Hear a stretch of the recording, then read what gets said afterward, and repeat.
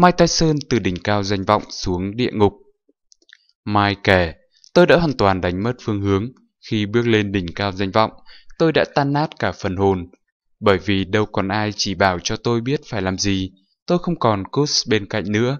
Khi nhìn mình trong gương, với chiếc đai quấn quanh người, tôi nhận mình đã hoàn thành sứ mệnh, và bây giờ tôi đã tự do. Giây phút ấy tôi nhớ lại một câu nói trong một quyển sách ở nhà Cus. Tự do là mối nguy hiểm lớn, phải hết sức dè sẻn. Lẽ ra tôi phải nhớ lấy câu ấy trong những tháng năm sau đó. Chiến thắng và sự tự do chính là con dao hai lưỡi, đưa Mai lên đỉnh cao rồi cũng bắt đầu kéo anh dần dần xuống địa ngục. Tiền kiếm dễ như nước, Mai vung tiền qua cửa sổ, giao du với giới ngôi sao của Hollywood. Từ một kẻ nhút nhát trước phụ nữ, Mai bắt đầu nghiện tình dục khi hàng tá cô gái bám theo anh và xin chết. Có lúc thác loạn một lần với mười mấy em ở khách sạn Vegas, chân trung trục nhưng vẫn đeo đai vô địch hạng nặng. Tôi như một cây đèn bị đốt ở cả hai đầu. Tôi tập luyện như điên nhưng cũng chắc táng như điên. Một trong những người mẫu nổi tiếng từng cặp kè với Mai trong giai đoạn này là báo đen Naomi Campbell, nhưng Mai vẫn qua lại với những cô gái khác và luôn bắt cá hai tay khiến mối quan hệ này nhanh chóng tan vỡ. Từ khát tình chuyển sang bội thực, gái với tôi khi ấy như thức ăn trên bàn buffet vậy. Người phụ nữ đầu tiên khiến Mai say đắm là Robin, sau này trở thành vợ đầu tiên của anh. Nhưng cô gái xinh đẹp này cùng với bà mẹ thực dụng của cô đã biến cuộc đời của Mai bắt đầu bước vào địa ngục. Họ đào mỏ, gian xếp hay tố cáo anh là đệ nhất vũ phu thần kinh da đen hoang tưởng. Cho dù Mai thừa nhận chưa hề đánh Robin, vì đó là người phụ nữ đầu tiên khiến anh có cảm giác yêu đương và đau khổ vì tình. Bị hủy hoại bởi cuộc hôn nhân đầu tiên, bị những tay quản lý hay huấn luyện viên tham tiền ăn chặn và lao vào những cuộc ăn chơi chắc táng, Mai chỉ còn một thú vui duy nhất là tiêu tiền. Không ai trong toàn bộ lịch sử quyền Anh lại kiếm được nhiều tiền như tôi trong vòng một thời gian ngắn. Mai xem những cuộc truy hoan tập thể là chuyện đương nhiên, tất cả những người hùng của tôi đều chơi gái nhiên kẹo. Giá mà có người nhắc nhở tôi, rồi hậu quả sẽ không hay đâu. Nhưng lúc đó nào có ai đâu. Mai bắt đầu xem phim sách ở nhà và hài hước so sánh.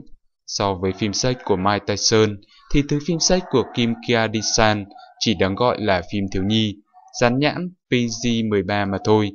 Anh thừa nhận, những năm tháng ấy đôi chân của tôi không còn ở trên mặt đất nữa. Tôi không còn suy nghĩ được gì. Vì mải miết hưởng thụ, tôi thật sự tin mình là một nhà vô địch bất khả chiến bại. Nhưng do ăn chơi xa đọa chắc táng và lười tập luyện, sau chuỗi ngày chiến thắng, Mike Tyson đã nhận thất bại đầu đời khi đại bại dưới tay Buster Douglas trong trận đấu tại Tokyo Dome vào ngày 11 tháng 2 năm 1990. Đó được xem là một trong những cuộc lận đổ quyền Anh vĩ đại nhất trong lịch sử.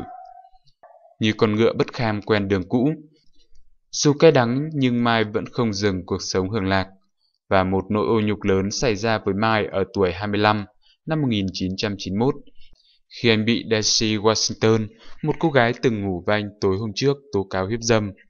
Mai bị tòa án phán quyết có tội và kết án bóc lịch 6 năm. Những ngày tù tội vẫn không khiến gã đàn ông hoang đàng và nghiện tình dục này tờn. Mai vẫn dụ những cô gái vào thăm nuôi và kiếm chỗ sơi luôn trong tù, cho đến khi bị phát hiện và bị cấm tiệt chuyện gái vào thăm nuôi. Năm 1997, Mai ra tù và được quản lý móc nối để trở lại thi đấu. Và chuỗi ngày ô nhục của Mai chưa dừng lại. Trong trận đấu với võ sĩ quyền Anh Evander Holyfield, Mai đã cắn đứt tai của đối thủ, phun nguyên miếng thịt tai xuống sàn đấu. Hình ảnh đó đã trở thành cú scandal lớn nhất trong lịch sử quyền Anh, trở thành một trò cười, diễu nhại của truyền thông. Hàng loạt những tính từ miệt thị ném vào người Mai, thằng điên, thú tính, đề tiện, thấp hèn, vô nhân đạo, ăn thịt người. Bị chỉ trích là làm xấu bộ mặt quyền Anh, Mai bị xử phạt 10% tài sản, tương đương với 3 triệu đô la Mỹ và phải treo găng ít nhất một năm. Ngồi chơi xây nước, Mai tiếp tục bập vào ăn chơi, nghiện ma túy và tình dục hạng nặng. Tiếp tục vài lần bị tố hiếp dâm, nhưng càng ăn chơi thì càng trống rỗng. Mai bị bác sĩ chẩn đoán mắc chứng trầm cảm kinh niên. Sau này khi hồi tưởng lại giai đoạn kinh khủng đó, Mai buồn bã thừa nhận, bị phản bội quá nhiều trong đời, tôi không còn tin ai nữa. Khi người ta khiến bạn cảm thấy mình bị căm ghét, cái cảm giác ấy sẽ ám ảnh đến suốt đời. Và khi không được yêu thương, con người có xu hướng làm những điều sai trái và làm tổn thương người khác. Cuộc đời của gã đàn ông ngoài 30 tuổi sau đó vẫn tiếp tục chìm ngập trong những chuỗi ngày nghiện ngập ma túy, gái, những cuộc ăn chơi chắc táng bất tận, những trận thua trên sàn đấu, cho đến khi phải tuyên bố phá sản vì nợ nần chồng chất. Cú sốc sau cái chết của đứa con gái 4 tuổi trong một tai nạn ô tô thảm kịch đã đánh thức linh hồn của Mai. Dù là một gã đàn ông tồi tệ, Mai là một người cha có trách nhiệm và rất yêu thương con cái của mình. Ngay cả con rơi, con vãi khắp nơi. Cái chết của cô bé khiến Mai suy sụp, và người giúp anh vượt qua giai đoạn này là Kiki, người vợ thứ ba của anh. Sự khóc thương của những người xa lạ làm tôi sửng sốt. Nó buộc tôi phải suy nghĩ nghiêm túc về việc gò mình trở thành một người có ích cho xã hội. Tôi cũng muốn ngưng cuộc sống hoang đãng, bừa bãi để thực lòng yêu thương duy nhất một người. Tôi muốn trở thành một người lớn có trách nhiệm, một người cha thương con. Khi sự nghiệp quyền Anh đã chấm dứt, tài khoản ngân hàng trống trơn, nhà cửa siêu xe đã bán hết, Mai Tyson phải sống cùng vợ con và bà mẹ trong một căn nhà nhỏ bé. Nhưng đấy là khoảng thời gian mà Mai phục thiện. Những danh tiếng và scandal xấu xí của quá khứ vẫn khiến cái tên của anh luôn hấp dẫn với giới giải trí. Mai được mời đóng vai chính trong hai tập phim hài ăn khách The Hangover 2009-2011 và loạt vai khách mời trong những series phim truyền hình nổi tiếng, rồi được Kiki lên kịch bản để đi sâu khắp nước Mỹ, kể chuyện sự thật trần trụi của mình. Đó cũng là lúc Mai nhận tin anh được bầu vào ngôi đền huyền thoại của quyền Anh. Nhớ lại khoảnh khắc này anh đã bật khóc nức nở. Quyền Anh là nỗi ám ảnh của cả đời tôi. Tôi thường đi ngủ với đôi găng tay vẫn còn trên tay. Sự kiêu ngạo của tôi đã phá nát mọi thứ xung quanh. Giờ tôi phải kiềm chế nó lại, giết chết nó để giữ gia đình mình. Khi bắt đầu kể lại cuộc đời của mình ở tuổi trung niên, Mai thừa nhận rằng anh không muốn sống an lành cùng với sự dối trá, nên anh quyết tâm đào sâu vào những góc tăm tối nhất của cuộc đời để trả lời những câu hỏi thành thực nhất của Larry Sherman, người chấp bút cho cuốn tự truyện đồ sộ của anh. Kẻ từ nhận sở trường của tôi là hủy hoại chính mình, cuối cùng đã tìm được sự cứu rỗi bên cạnh gia đình và những bức thư tình của những bậc tiền nhân. Nhưng những sự thật trần trụi về cuộc đời của Mai có lẽ vẫn không thôi gây kinh ngạc cho độc giả của anh. Tôi thì đang chờ đợi một bộ phim tiểu sử xứng tầm về Iron Mai, tay đấm thép hai gã đàn ông xấu xa nhất trên hành tinh được cứu rỗi. Các bạn hãy đăng ký kênh youtube của Trí Thức Vô Tận để đón xem các clip tiếp theo. Anthony Joshua đã so sánh Alexander Povetskin và Mike Tyson trước trận đấu với người thách thức bắt buộc để bảo vệ đài WBA. Povetskin đã tạo ra một trận đấu kinh ngạc trước đối thủ David Bright tại Liverpool, cùng sự kiện của Joshua và Joseph Parker vào tháng trước. Chiến thắng của võ sĩ người Nga giúp anh ta ở vị trí hàng đầu để thách thức đai WBA mà Joshua đang sở hữu. Nhưng Joshua đang hy vọng các nhà chức trách quyền Anh sẽ cho phép trận đấu hoãn lại cho đến năm 2019, để trước tiên anh có thể cố gắng thống nhất toàn bộ đai vô địch hạng nặng trong trận đấu với Deontay Wilder. Joshua cũng thừa nhận anh đang thận trọng khi đối mặt với Povetkin, người chỉ phải nhận duy nhất một thất bại trong sự nghiệp trước nhà cựu vô địch Vladimir Klitschko. Tuy nhiên Joshua vẫn tự tin anh có thể giữ lại đai WBA của mình. Người duy nhất Povetkin đã thua là Vladimir Klitschko, Joshua nói với Skyport. Povetkin có những cú đấm rất mạnh, dù rằng vóc dáng của anh ấy không cao, như là một phiên bản của Mike Tyson vậy. Nhưng tôi nghĩ anh ta cần phải đấm chính xác, tương tự như Parker vậy. Tôi thấy những gì anh ấy muốn là áp sát và tung cú đấm chuẩn. Anh ấy biết anh ấy không thể outbox hoặc outsmart tôi.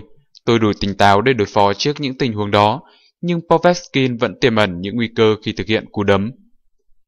Joshua đang hướng tới mục tiêu là người đầu tiên thống nhất tất cả các đai vô địch hạng nặng cùng một lúc. Võ sĩ 28 tuổi này đã bổ sung danh hiệu WBO vào bộ sưu tập của mình sau khi đánh bại Parker sau 12 hiệp đấu. Các bạn hãy đăng ký kênh youtube của Trí Thức Vô Tận để đón xem các clip tiếp theo. Tay đấm người Anh có nhiều đối thủ để lựa chọn sau khi thống nhất 4 đai vô địch quyền Anh hạng nặng. Tuy nhiên, theo thông tin mới nhất, Joshua nhiều khả năng sẽ phải gặp Alexander Povetskin trước khi đối đầu với Deontay Wilder. Cuối tuần trước, Anthony Joshua đã đánh bại Joseph Parker trong trận đấu tại sân vận động Principality để thống nhất 4 đai vô địch WBA, IBF, IBO và WBO. Sau trận, Joshua đã đích thân gọi tên Wilder như là đối thủ tiếp theo mà anh muốn thượng đài. Chiến dịch quảng bá của ông bầu Eddie Hear cũng xác nhận điều này, tuy nhiên ông vẫn chưa xác định được đối thủ tiếp theo cho Joshua, nhưng khả năng là một trong hai tay đấm Deontay Wilder hoặc Alexander Povetskin. Phía WBA đã yêu cầu Anthony Joshua bắt buộc phải đấu với Povetskin ở trận kế tiếp. Hear nói với Skyport, WBA đã gọi cho chúng tôi và yêu cầu Joshua phải đối mặt với Povetskin. Chúng tôi có 30 ngày để đàm phán. Phía World Boxing của Nga cũng cho rằng Povetkin bây giờ là đối thủ bắt buộc của Anthony Joshua. Đội của Povetkin cũng tiết lộ sẽ sớm gặp Eddie Hear để đàm phán về trận đấu. Như vậy, kế hoạch của Anthony Joshua nhằm thống nhất các đai hạng nặng bằng cách đối mặt với Dan Tigerder có lẽ phải tạm hoãn sau lời yêu cầu từ WBA. Anthony Joshua 21 trận thắng 20 knockout đã giành được chiếc đai WBA vào năm ngoái sau khi đánh bại Vladimir Klitschko tại sân vận động Wembley. Hiện tại, Povetskin cũng đang rất hứng thú với việc thượng đài cùng Anthony Joshua. Võ sĩ người Nga đã đánh bại David Bray trong sự kiện với Anthony Joshua hạ Parker. Anh đang mong muốn giành lại chiếc đai WBA khi để thua Klitschko vào năm 2013. Povetskin nói, bây giờ Anthony Joshua đã có 4 chiếc đai. Tôi thực sự muốn chiến đấu với anh ấy, thậm chí tôi không muốn nghĩ đến ai khác ngoài Joshua. Các bạn hãy đăng ký kênh youtube của Tri thức vô tận để đón xem các clip